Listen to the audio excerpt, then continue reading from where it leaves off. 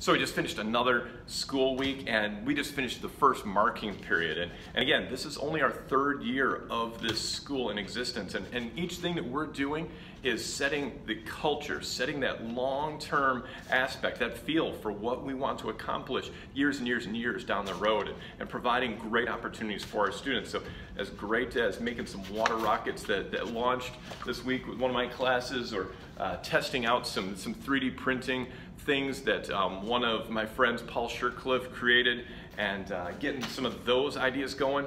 As great as some of those things were, the best part of this week was we had parent-teacher conferences one day and the person, the administrator who was in charge of those had to go home early because of some family situation.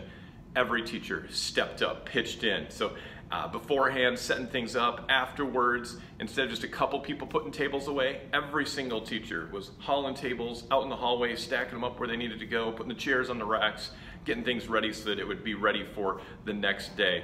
Um, just super, super, when teachers work together, when staff comes together to really uh, set that tone for uh, a teamwork. And, and that's laying that foundation for all those amazing collaborative things that we can do going forward with our students.